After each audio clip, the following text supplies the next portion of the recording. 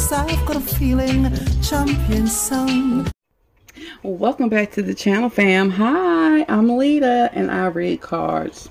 So today we're going to do um, a deck review. I'm going to open it. You know, we're going to flip through and all of that. Um, it's actually, this is not my deck. This is my daughter's deck. Um, but you know, she donated it for use on the channel today.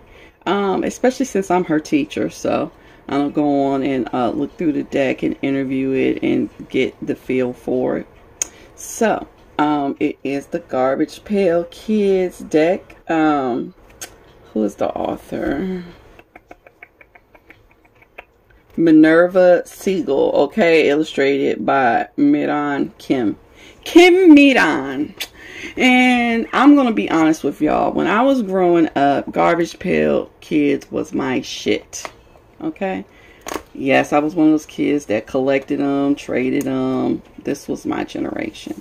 So I know some of you are really young and y'all are just looking at like, oh, this is a cute piece of nostalgia. But for me, this shit is life. For real. So let me open her up really quick. Let's see what we're working with. Oh, well, it's nice and snug. There we go. Okay, so we have the guidebook on top with what I'm supposing is judgment. I'm supposing this is judgment on the top here. Only because um of the trumpets, you know, coming out of it. But I don't know. We'll find out in a second. Um, there are a few spreads in the back of the book. Um, I guess um Oh, okay, so they actually go through every card. Uh, looks like they have some um, tips for uh, tarot reading. Well, shit, let's get to it. I've been looking forward to seeing this deck for a minute. And I, I haven't been buying decks. I haven't bought myself a deck in... I believe I haven't actually bought myself a deck in two years. It's about time, huh, fam? So this is what the um, back of the deck looks like. And here's our deck. So let's just get to it.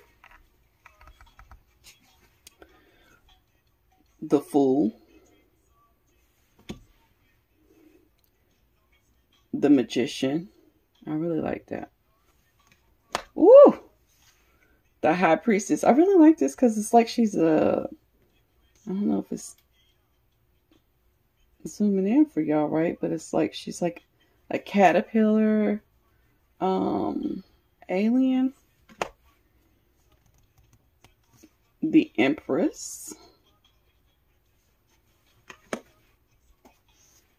The Emperor. Oh, look at the Hierophant with the big brains. The Lovers.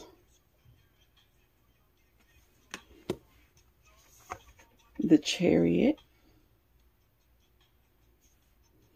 Bishop, let me know what you think about this card. Strength. The Hermit is pretty decent. I really like this. Oof! I'm in love. The Wheel of Fortune. This is pretty fucking traditional for a whimsy deck. Um, Justice. With all the snot, snotty nose Libras. the Hangman. Death. Yeah, so I think that other card was Judgment because there's Death. Temperance, the Devil, the Tower. That's very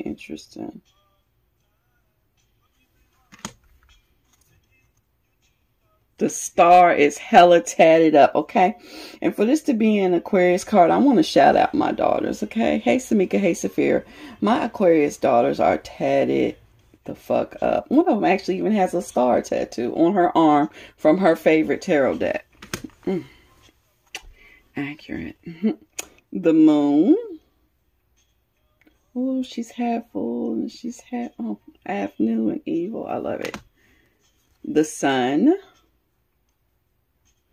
And as I guessed earlier, judgment. The world. Okay, so we're going to move into the suits. Um, it looks like they start off with the kings and work their way down. So let's do it. King of Cups. Yeah, he's a little snappy. I like that. Queen of Cups. beautiful mermaid. Knight of Cups. On the move. Page of Cups. You know, I'm actually really digging the way this is interpreted. Okay, okay. Ace of Cups. Oh, I got some sticking. Two of Cups. Three of Cups. Four of Cups. I don't know why, but the Five of Cups, for some reason, it looked like it said Evil of Cups. Interesting. Six of Cups.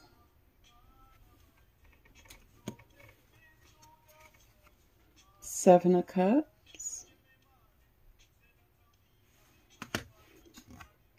Eight of Cups. Nine of Cups. Ten of Cups. Okay, now we're in the uh, Pentacles or coins. King of coins. Oh, he is a leprechaun king. Mm, mm, mm. Queen of coins. Knight of coins. Page of coins. I don't know if y'all can see this. But the coin that's actually on here says like don't barf on me or something. Oh my goodness. Mm -hmm. Ace of coins. One of these days I'm to end up doing a reading with this and I want to tell y'all what this looks like to me. Mm -mm Two of coins. Three of coins. four of coins.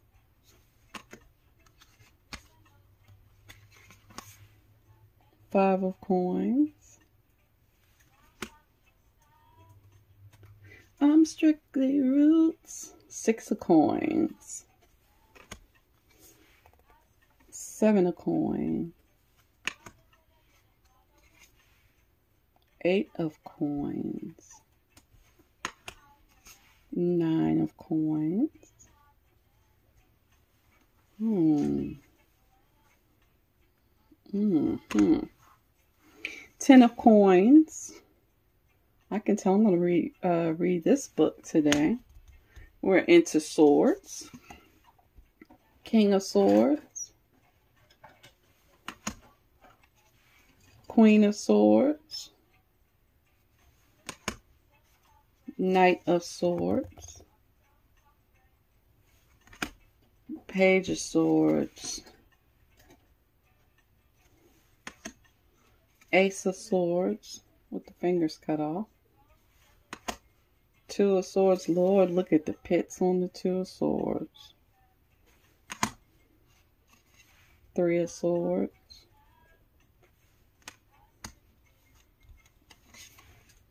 Four of Swords.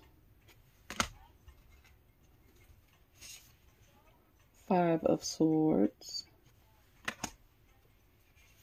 Six of Swords.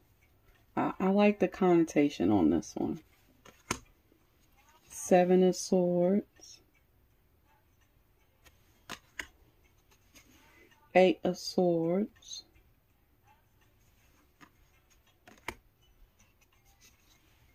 Nine of Swords. Ten of Swords. All right, we're into Wands. King of Wands.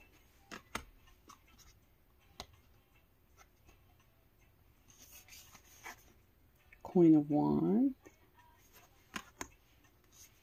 Knight of Wands.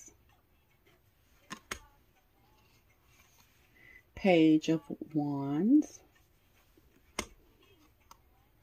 This might be the prettiest card in the deck, the prettiest one. Ace of Wands. Two of Wands.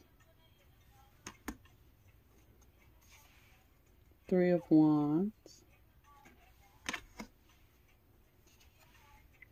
Four of Wands.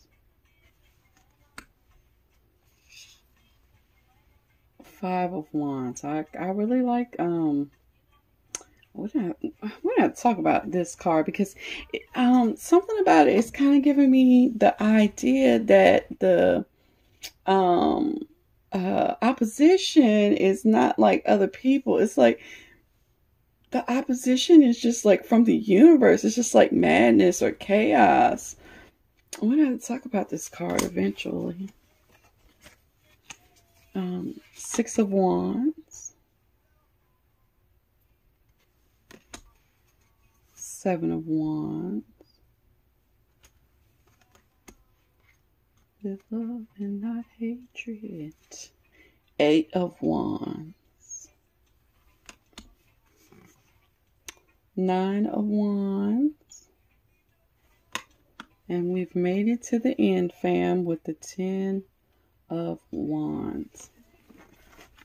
Overall, I want to say I really enjoy um, you know, the artwork, but um the actual interpretation that the artist took on this, I really like it. I like I really like it. I can see this being a very insightful deck. I'm gonna do a quick interview. You guys know how this goes. I do it from time to time just so that you all can see my process. Let me there we go. Let's move it this way so y'all can see as I'm doing it. Alright, so the first question I always ask the deck is how would it like to introduce itself to me? I'm going to tell you this deck is very shuffleable. Um, the cards are in between being um, really thick, but they're very pliable. Um, they're not sticking. I had a couple stick, but they're not sticking. They shuffle well. They shuffle well. I, I like this deck. It has a good feel to it.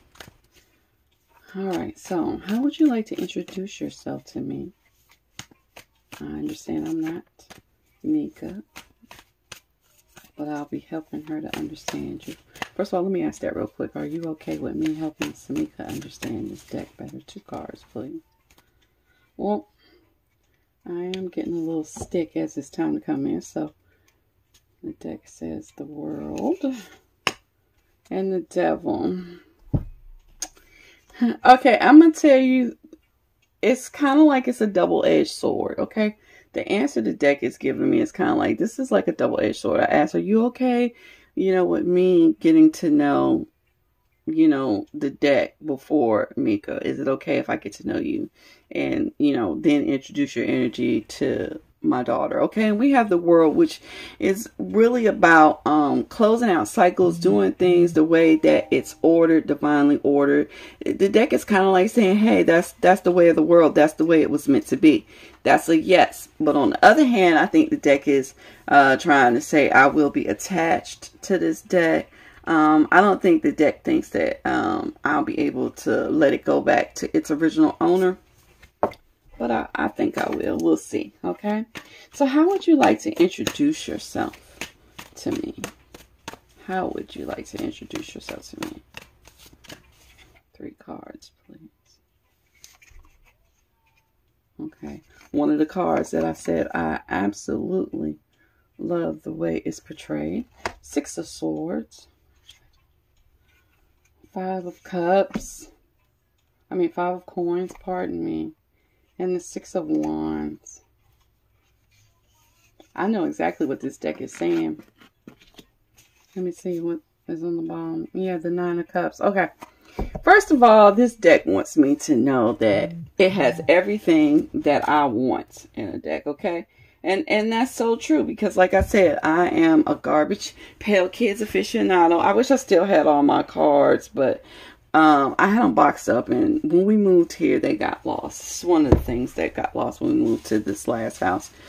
Um, but the way that the deck is introducing itself, I want you to see this is six, five, and six. Okay, um, this is a nice little pattern going on here. Let's see if I can get in so we can get a good look at it. There we go.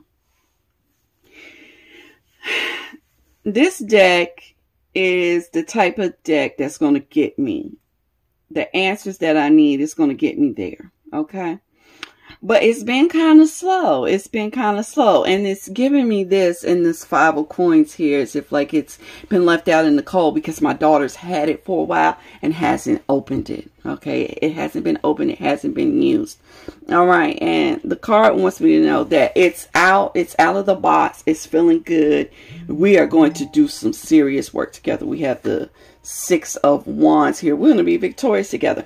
I had another deck before that told me this. And to date, it is my largest performing video. when I read it and went further into, you know, how it was going to um, make me more popular. And I just couldn't really see, you know, um, how that was going to work out. And it did. So this deck is basically telling me the same thing. It's like, because with this being on the bottom of the deck, it's like this deck is telling me, I'm going to help you get the things that you want. I am everything that you want. I can help you find the luxury that you're looking for in life. And then, and then it tells me all of this, okay? So basically the deck wants me to know that it's pleased to be out of the box. It's taken a while for it to get used, but now that it's out, it's happy to be used and it's ready to do some work. It's ready to get a fire lit. Okay, so let's get the fire lit. Um, the next thing I often ask um, my deck is, does it identify as male or female? I'm going to pull two cards for that.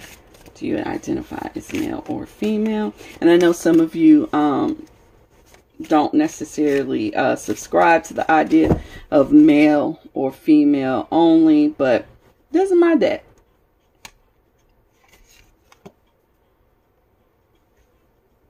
It's a she. An Aquarian she. Mm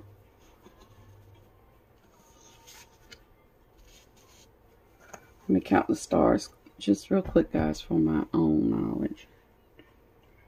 It's just my thoughts. Seven. And then the sun, seven and the sun. Okay. All right, so she's a she. Um, what type of readings do you or would you enjoy doing the most with me? What kind of readings would you enjoy doing the most with me? Three cards, please.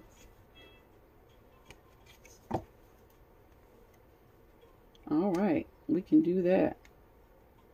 We have the Two of Swords. We have the world. Let's go back for our last one. And we have the three of coins. Okay. Okay, the bottom of the deck is the seven of coins. I'm going to tell you, this deck wants to do, um, answer questions or do work that has to do with growth. Um, this deck likes to answer questions about things that people have a hard time making decisions on, okay? The hairy, ugly things in life, you know, that everyone is turning their head to. This deck wants to answer those. The world, this deck wants to talk about mystical, magical things, the workings, the four directions, just the planets, everything. But also, in particular, shit about the internet.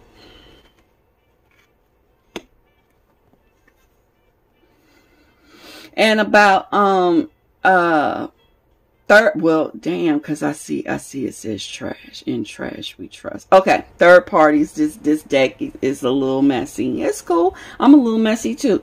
Um, third parties or situations um, where people have to work together um, or figuring out what other people are doing behind your back. Knowing someone's steps in a situation where they're involved with you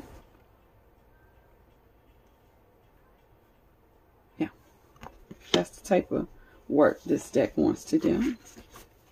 Y'all know I only have a couple more questions from for Miss Deck, okay? Um, um, how would you describe me as a reader? It's always important to know how your deck feels about you. How would you describe me as a reader? Three cards, please. Queen of Swords. Boy, y'all love throwing that Queen of Swords at me. King of Coins. Ace of Wands.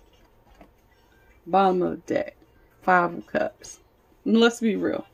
As a reader, this deck feels like I've kind of lost it a little bit. You know, and I'm just really getting back.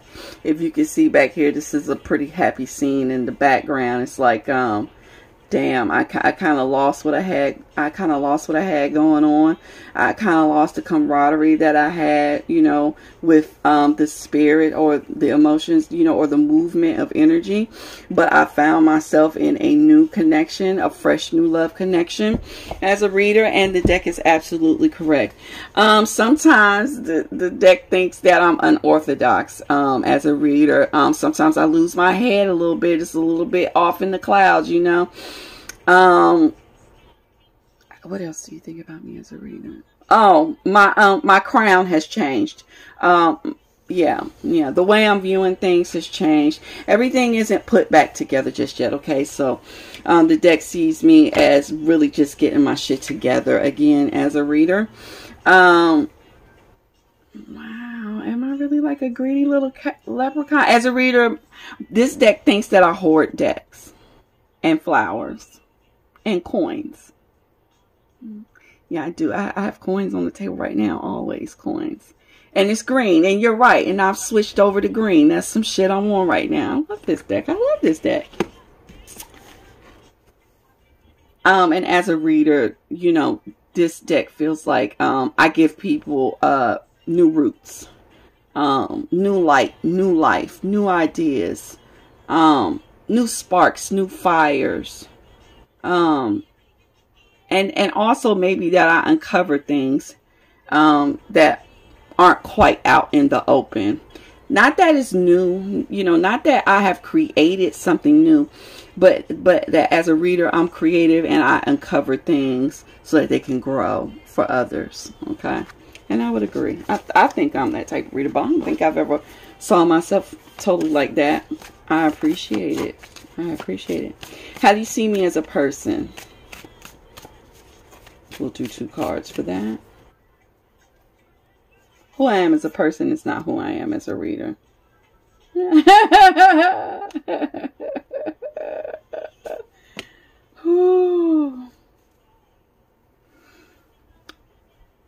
so she feels like sometimes I'm um, indecisive or I don't want to make the tough decisions and that that that's very true okay? Um, she thinks i'm a, a, little bit of a flirt a little bit of a romantic um, but she also feels like i attract a lot of opportunities and that i share a, a lot of uh, wealth. A lot of whatever i have i'm sharing and offering to other people. You can see it again over here in the three of cups. Um she she feels like i'm a friendly person.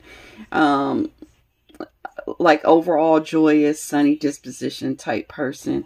Um it, it's nice to note that she gave me um, both cups, which says that she feels that I'm a very feeling person. And I have been feeling very emotional recently. And so I'm very pleased with this answer. And let's get into the last two questions for the deck, okay? I do this with every deck. Sometimes I don't do the full interview um, because sometimes a deck kind of gives off the energy that it doesn't want to be questioned in that manner. And so I take time and just, you know, ask questions to kind of calibrate the deck and figure out what's going on. Um, but this one I always ask, please show me your favorite card in the deck. The moon. Now this is a card I told y'all that I also really like.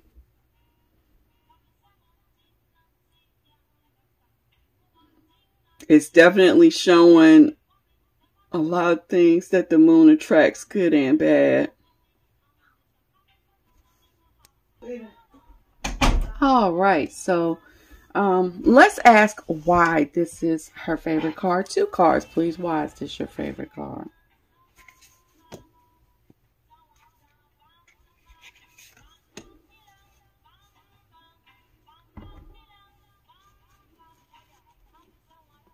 Well, for one thing, um, I kind of feel like uh, maybe this deck is ruled by um, the energy of the moon, okay? Or in my world, Selene. Um, it's almost as if like she's a lover of the moon. Um, she's a lover of the way that the moon um, controls the tides, as you see here. And this is also about tides and direction. I don't know if you can see, um, you know, the water in the background. The Two of Wands is about taking new direction, you know, setting out to do new things on the world. And I think that to me, it's kind of looking like um, the answer is it's just that the moon is a really big guide. The, mo the moon is a beautiful thing to stare at. The moon gives us um, insight on love and uh, prosperity. We have a lot of fish here. I also feel like uh, maybe she feels like this this card is pretty lucky. Um, and most decks do point out cards that they find to be lucky. So we'll remember that when I'm doing readings with this deck, if this deck, if this card comes out, this is a luck card. Um, and it definitely really could be about the turn of luck with, you know, with the two sides here. We have a two here, which also allows me to know she likes this card because of its duality. Um, and I think it just helps you to sort things out. It helps you to get untwisted. All right. And then we'll go into our last question, which will be what is your least favorite card in the deck? What is your least favorite card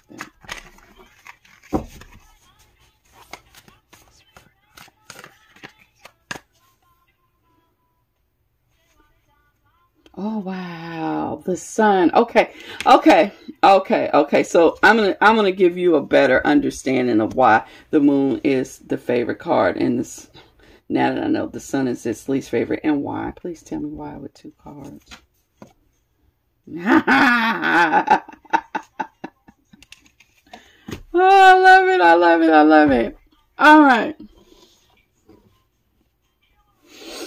The moon card is not about just light just light work or just the light or the lit path okay? The moon card is about a good balance between the light and the dark okay? Which has more to do with being more balanced okay? The sun card is totally about the light and, the, and I, will be honest with you um, a lot of alchemists, magicians, or people that are really in the know are not very happy or satisfied with a total light path. Um, it's very naive. Um, and basically that's what she's saying. She's saying like the the sun card casts such um you know a bunch of light. It's like people are misled. It's like people see the sun card and they immediately think that you know everything is going to work out fine and you know they have someone on their side that's helping to make things easier and more fluid or whatever. Can you give me one more? Help me tie up this sentence. Yeah. She's like, even when the sun is present, towers are too. Um, she just doesn't like the perspective of this car. She feels like people feel a false sense of security when they see this car. And she's saying that's just not how it is. Okay. Now we're going to have fun together. So, I hope you guys enjoyed this uh, flip through of the deck and um, quick interview.